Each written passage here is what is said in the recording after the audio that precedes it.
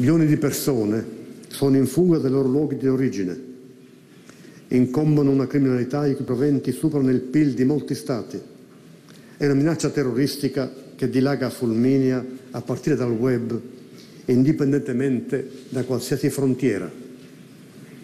Di fronte a tutto questo, pensare di farcela da soli è pure illusione, o peggio, inganno consapevole delle pubbliche opinioni. L'irrilevanza delle politiche di ciascun singolo paese europeo, fuori dal quadro di riferimento continentale, emergerebbe immediatamente.